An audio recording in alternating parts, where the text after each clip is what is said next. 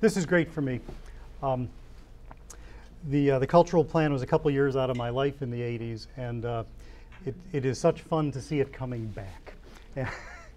and uh, Mayor Emanuel has said, as part of his cultural policy, he wants to revisit the original Chicago Cultural Plan, update it, and bring it back as a blueprint for the city. The, the original one was very much a product of its times, um, and I need to give you background on, on why, it, why it is the way it is. Um, so let's go back to 1983. Um, the mayor of Chicago is Jane Byrne, who uh, was the first woman mayor, beat the machine uh, because of uh, snowstorms. And so there was this, this outrage against the machine because they couldn't get the streets cleaned. Jane Byrne became the mayor. Um, she's running for re-election in 1983, and uh, this is a time where the mayor of Chicago was elected through a primary system initially. So there was a Democratic primary for mayor, a Republican primary for mayor, and then a general election. So opposing Jane Byrne was Richie Daley, who was at that time the state's attorney of Cook County. Uh, and Jane Byrne represented the, uh, the North Side Irish. Richie Daley represented the South Side Irish. Third candidate in the race was Harold Washington, who was an African American and a congressman who I think uh, actually represented uh, the Hyde Park uh, area at the time. Um, now, how many of you are from Chicago? Okay. Um, Chicago, as you know, is a very segregated city. Uh, the game we used to play was if you went to uh, uh, the downtown uh, subway station at uh, State and Lake and you stood in front of the, uh, the turnstiles, you could look at the faces of the people going through the turnstiles and by looking at their faces decide whether they were going north to Howard or south to 95th Street. It's a segregated city. Racial politics are very much a part of Chicago. So, budding political scientists, you have three candidates in the race. You have two white candidates, one African American candidate, three way primary. Who wins the primary? Harold Washington wins the primary because he keeps an absolutely solid African American vote, and the white vote splits uh, between Jane Byrne and Richie Daley. Now, in modern memory, Republican has never been elected mayor of Chicago, not since the days of Prohibition, Big Bill Thompson, uh, early, certainly pre-war. So Harold Washington, having won the Democratic primary, it should be a given that he becomes mayor in the general election. But suddenly, the, uh, the white Republican candidate, a very nice guy named Bernie Epton, um, is polling 46, 47 percent uh, in the polls. And, and Terry, so you remember those days. You remember where, where Bernie Epton is in this. Um, and Bernie Epton, who up until that time, he was a lawyer, moderate Republican, very decent guy, his campaign slogan was, vote for Bernie Epton before it's too late. And when he got called on it, he said, what do you mean, before it's too late? Do you know how bad Chicago's infrastructure is? The streets are crumbling. We got to fix the water, the water mains. That's what I mean. Because I'm a good Republican businessman. Vote for me before it's too late because I can fix the infrastructure of the city. But we all knew, everybody knew, he knew what vote for Bernie Epton before it's too late meant. So, if you're Harold Washington, uh, who instead of being 90% in the polls as the Democratic candidate, is only at 46, 47% in the polls. And you are running against this white candidate who's also at 46, 47% in the polls. And at this point, um, the Hispanic population, although it's increasing in Chicago, they aren't registering to vote. So they're really not a factor in this. So you got the Asians and Native Americans and all the other ethnic groups, but this is really a black-white election. So if you're Harold Washington, what do you do to skim off uh, enough white votes holding your African American base to win for mayor. And uh, there were a lot of uh, task forces that were set up. But one of the task forces that was set up was an arts and culture task force. And Harold Washington thought that's really good because um, if I can uh, skim off enough, enough whites because of the arts, you know, one or two extra percentage points, everything counts. And so the task force recommended, and the mayor promised, he said, Chicago has never had a unified arts policy, unified cultural policy. Because what Jane Byrne had been doing, Jane Byrne had been making deals. She was making a deal with the Rouse Company, which um, had built Inner Harbor in Baltimore and Faneuil Hall in Boston. They were going to take over Navy Pier. She had, uh, she had destroyed State Street and made it a pedestrian mall and stopped all traffic, all street traffic in, on State Street. She had done a lot of these bits and pieces arts stuff, but no overall plan. So he says, I'm going to give you a cultural plan. And Harold Washington gets elected. Who knows whether his promise to create a cultural plan is one of the things that does it? We all like to think it did. Who knows? Anyway, he gets elected, and at some point, he's got to fulfill this promise because a lot of the people on these task forces were saying, uh, we want you to follow through. So um, he was at the time you know, congressman from, from Illinois, and I was at that time working for a guy named Sid Yates, who is the patron saint in Congress of the arts. Um, he was chairman of the uh, Appropriations Committee, which funded all of the federal arts programs. Uh, and he had beaten back uh, every attempt during the culture wars to abolish the National Endowment for the Arts. Um, and the way he had done it was by recognizing how political the arts were. And he had made sure that the Arts Endowment was in a subcommittee that he controlled that not only included the uh, Arts and Humanities Endowment and the Smithsonian, the National Gallery, and uh, Institute of Museum and Library Services, but it also included the Department of the Interior and the fossil programs of the Department of Energy.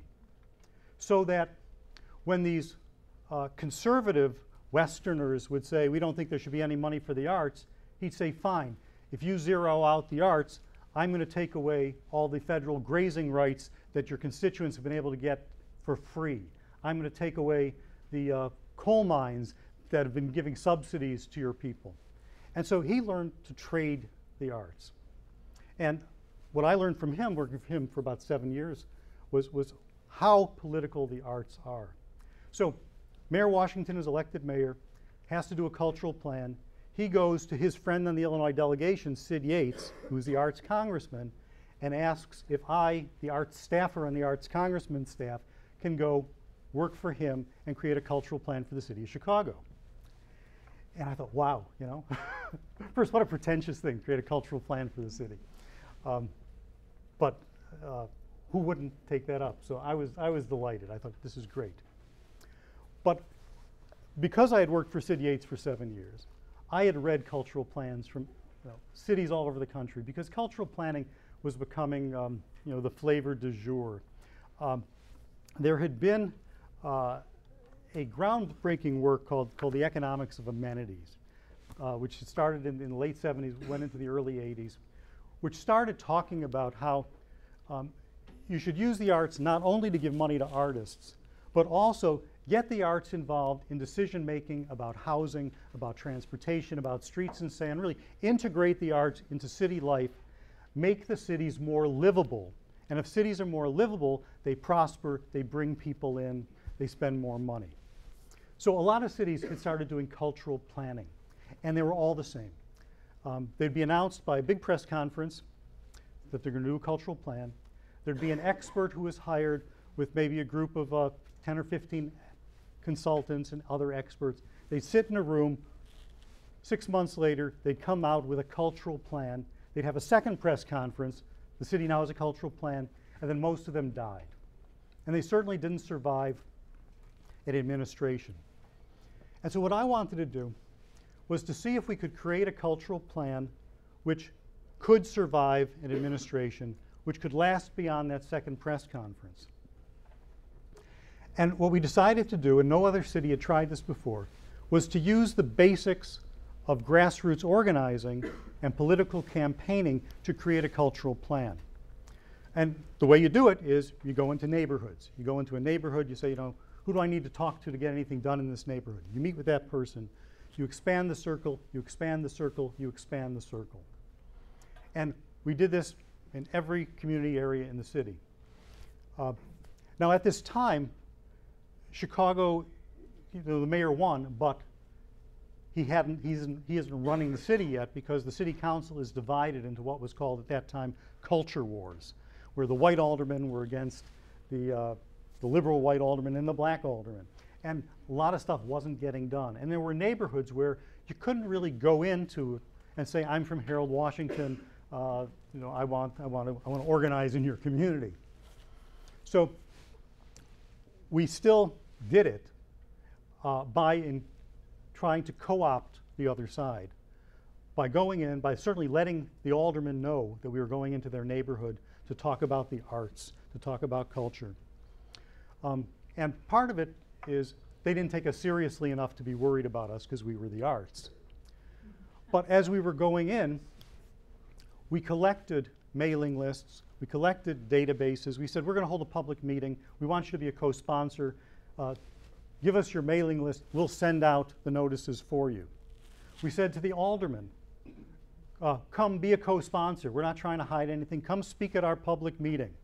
Um, and we got a, uh, a grant from the Chicago Community Trust for about $285,000 to, to do the cultural plan because they, they were intrigued by what we were trying to do. And we got a little money from the National Endowment for the Arts Locals program because they also were intrigued.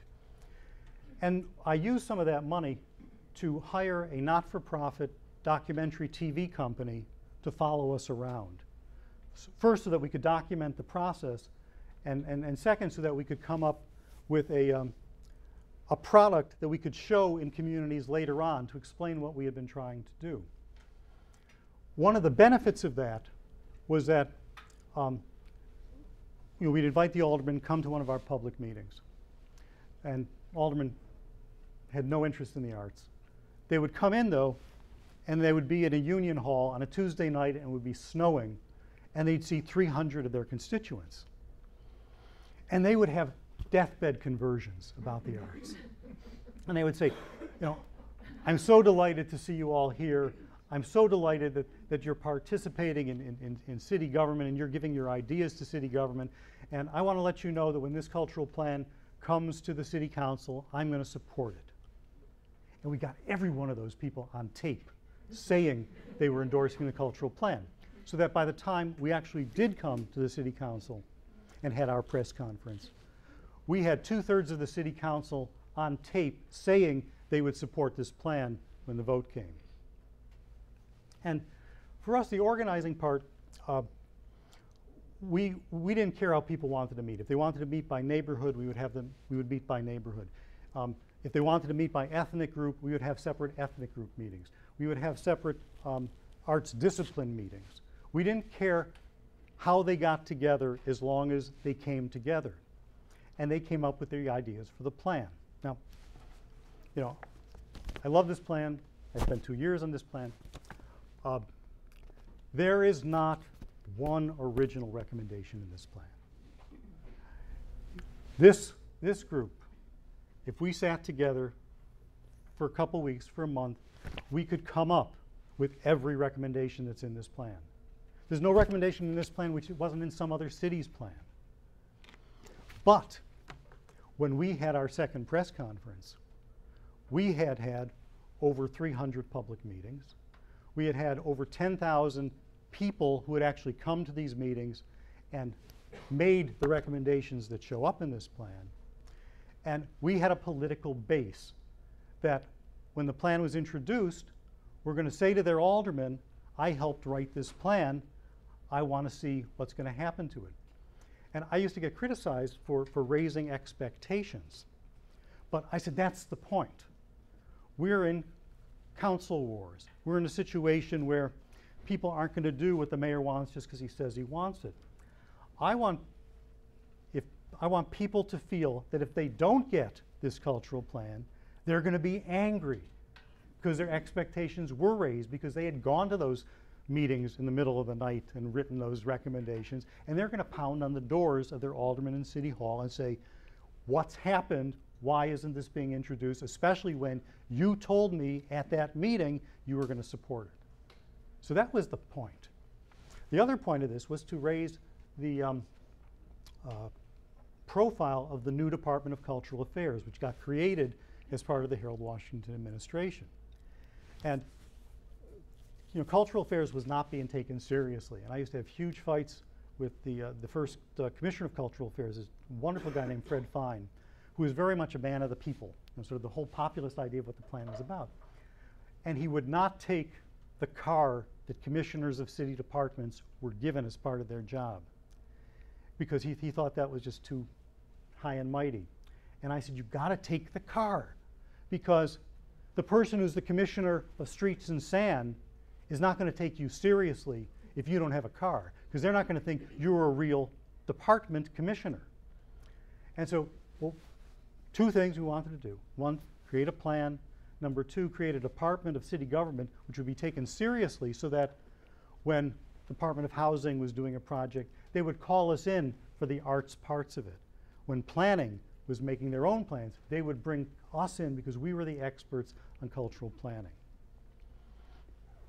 We put together, as I said, a, a 25 minute broadcast quality tape, which we showed on Channel 11 a few times, uh, to explain the process, and then we used it to go around afterwards. I'm going to show that to you, and then we can sort of talk about a little bit the, the aftermath and how it, what I think can happen with uh, Mayor Emanuel.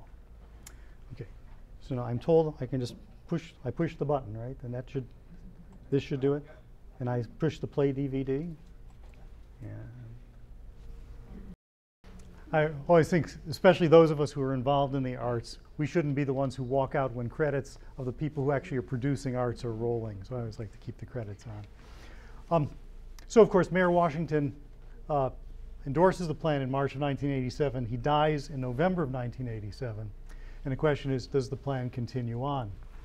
Um, Mayor Sawyer takes over and pretty much fires everybody in the Department of Cultural Affairs who's in the policy positions at that point.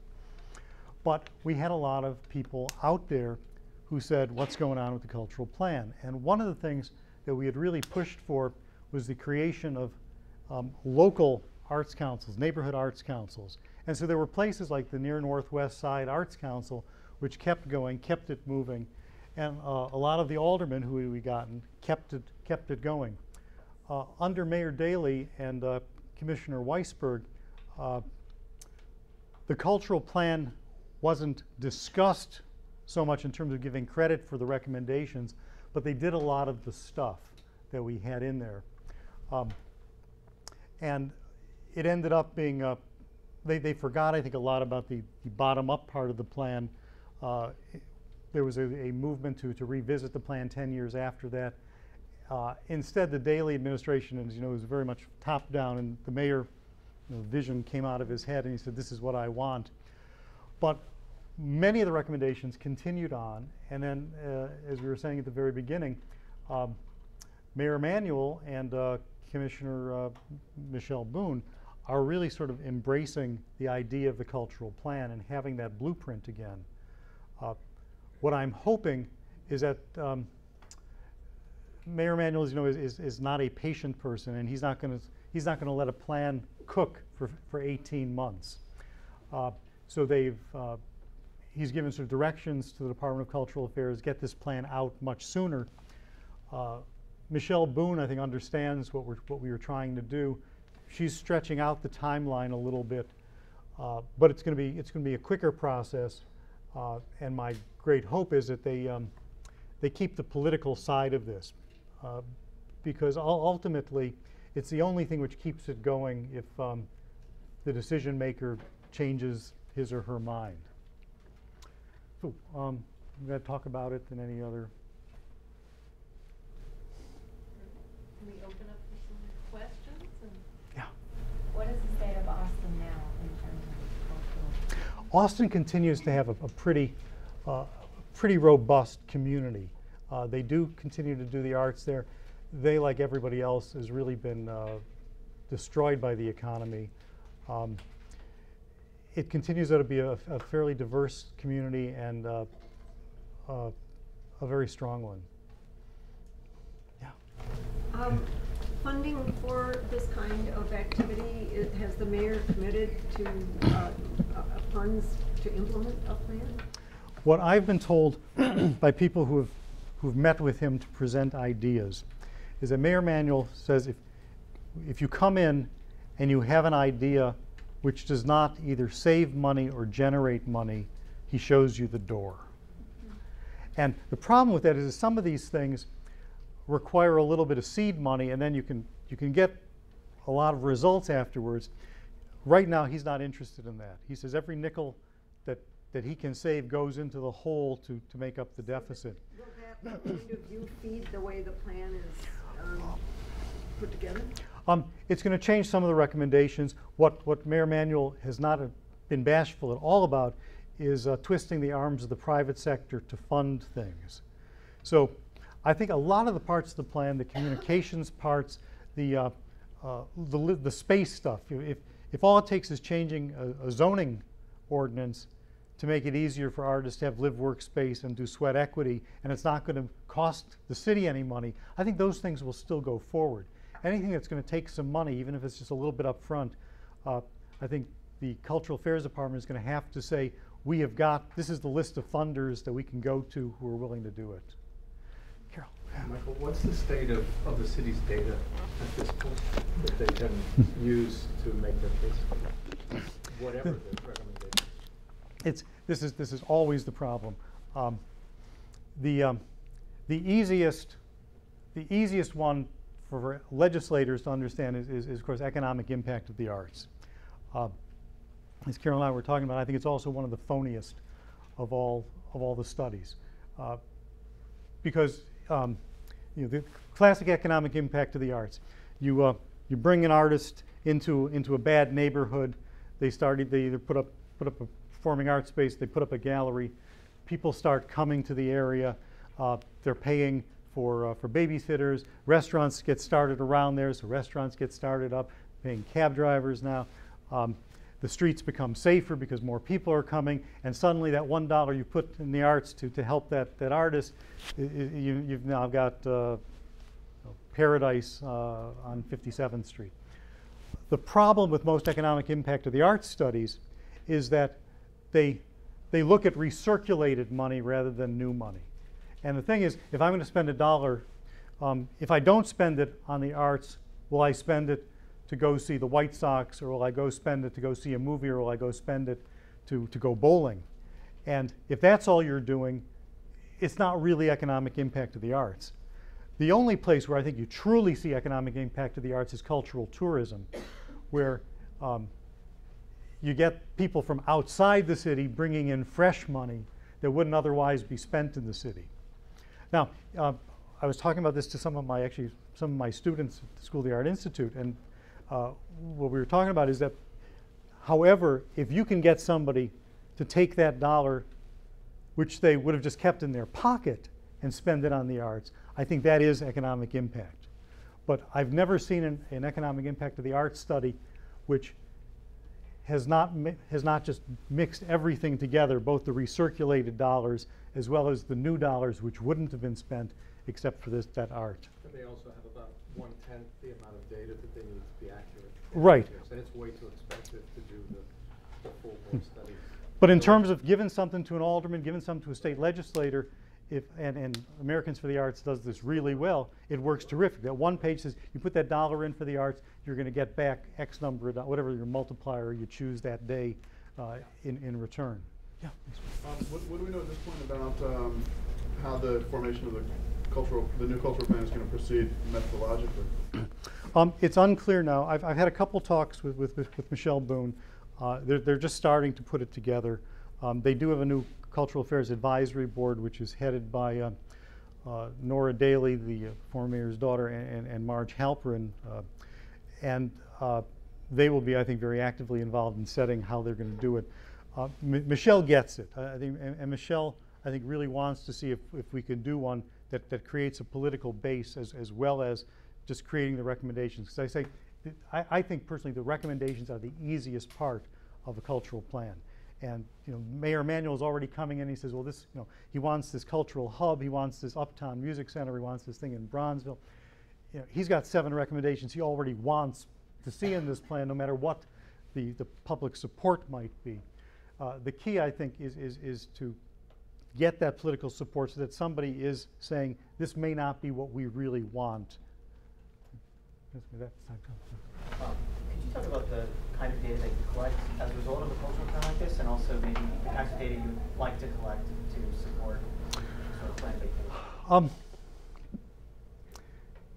the, I was looking at this as a political plan. So the data I really wanted to collect was um, names, addresses, uh, being able to reach those people, uh, getting them, uh, if necessary, you know, at the next stage, registered to vote, so that we had a political movement to support the plan.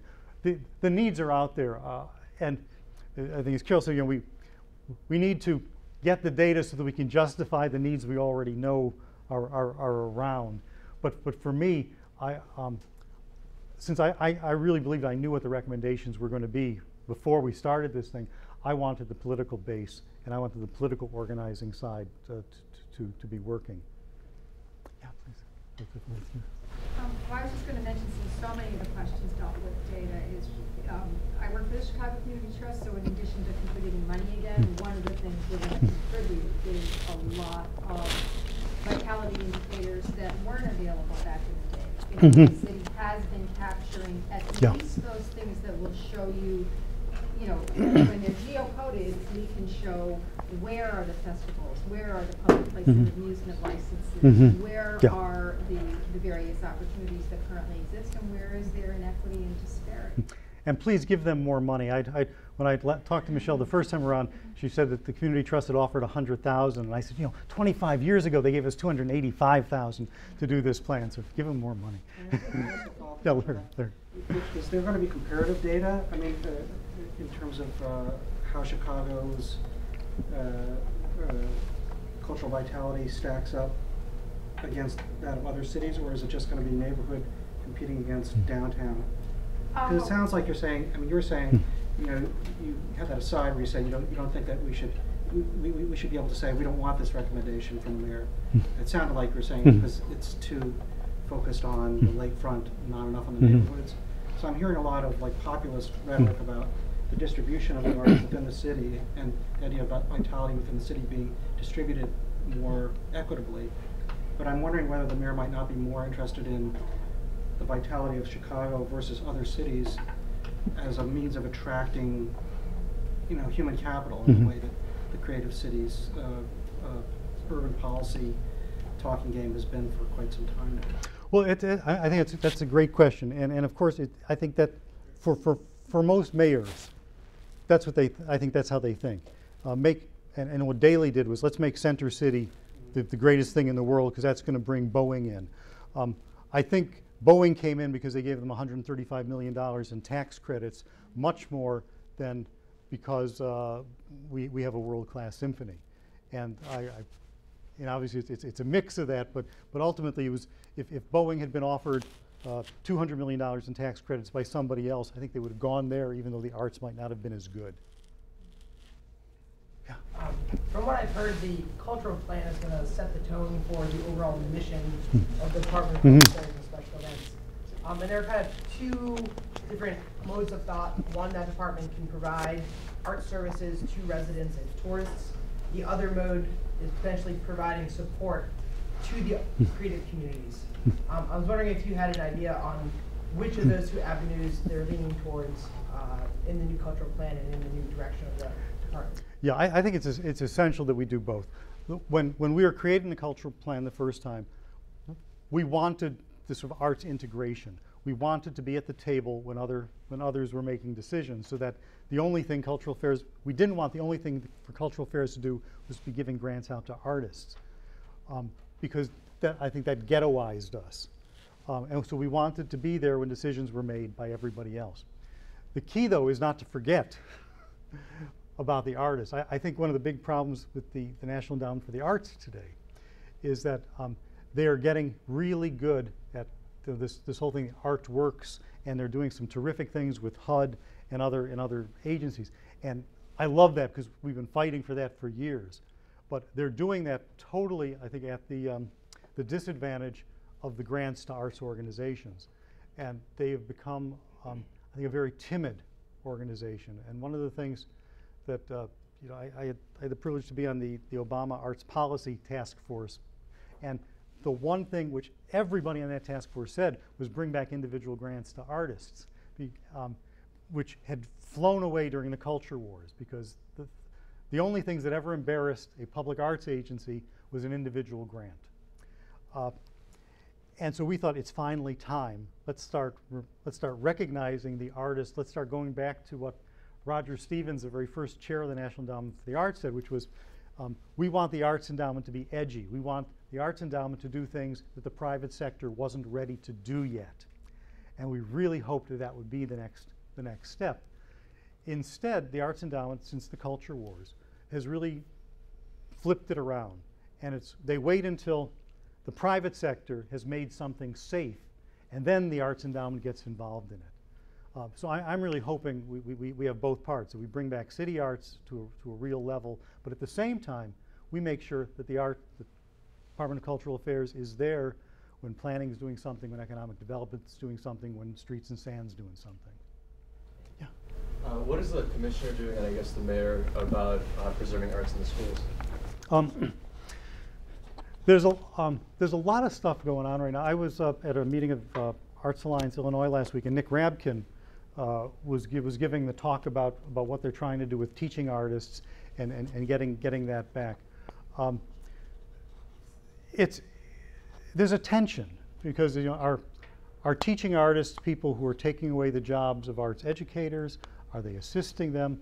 And we're still getting into this this, the same debate that we have about arts integra- about integration with city government with respect to teaching.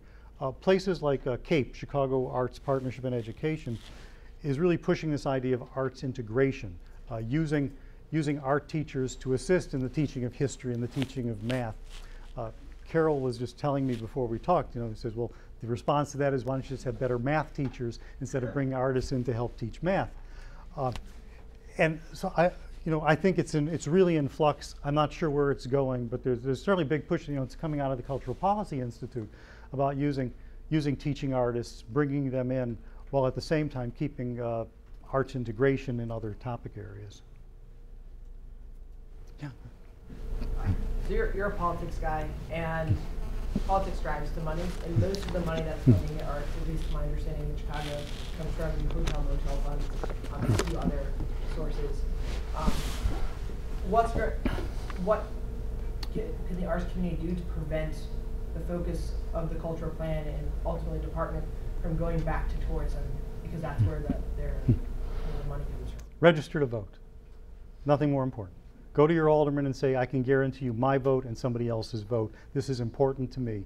Uh, I, I, I do a lot of advocacy training, and um, the, uh, the, main, the key to advocacy is there has to be some pain for somebody to say no to you.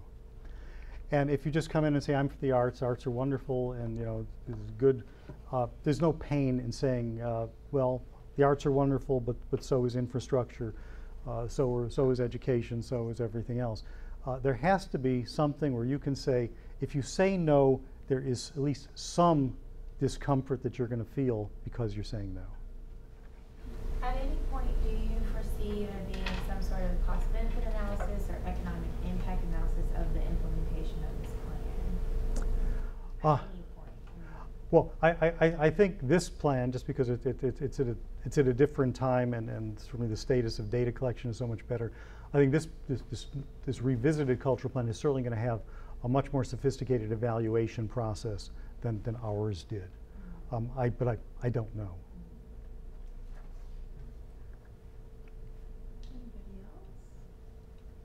Yeah.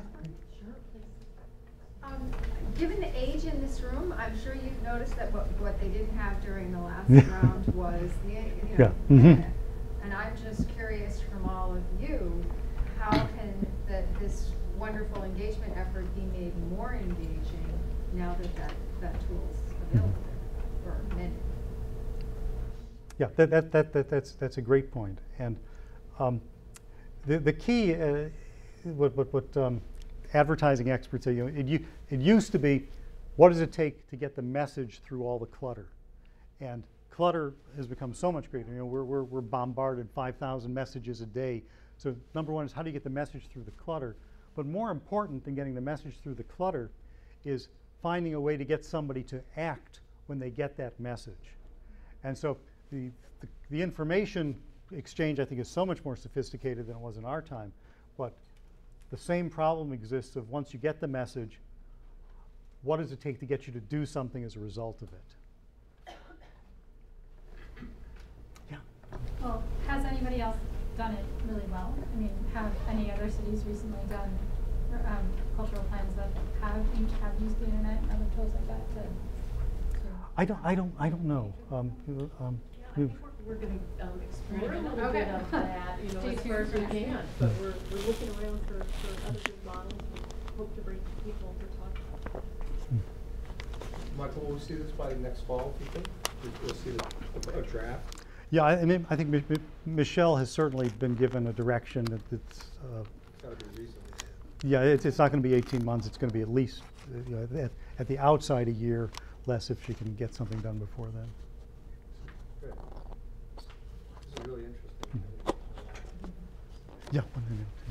The, as far as the National Cultural Data Project is involved, could you talk a little bit about how, if that is being used as part of this cultural plan, or? I think know they've recently come into Illinois and started to, to build. I, I think very much so. And one one of the, the good things that Michelle Boone has been doing, she's been working with Ra Joy at, at Arts Alliance Illinois, uh, who's been very, very active in, in, in that, in that project uh, with, with Americans for the Arts and, and others. And they also, um, and I think here is where you're working on, on getting the, uh, the, the Cultural Vitality Index. And, right, yeah, and, and, and I, that, that's really important. And I, I think more and more of those, those tools that we use with all these other subject areas, using them for the arts is going to be real important. Susie, could you just mention a little bit about where those vitality indicators will be and how it?